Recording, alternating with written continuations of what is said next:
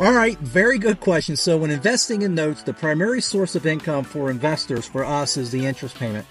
We receive this from the borrower.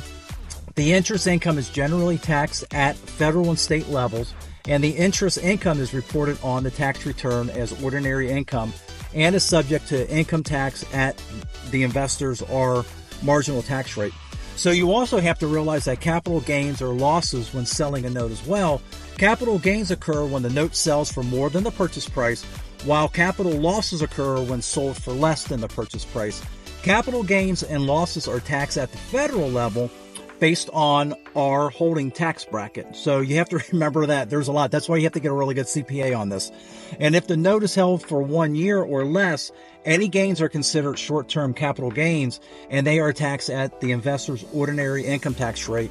And if the investor holds the note for more than one year, any gains are considered long-term capital gains and are taxed at a lower rate depending on the tax bracket. Once again, you need to get yourself a really good CPA to help you with all this. Hope that helps.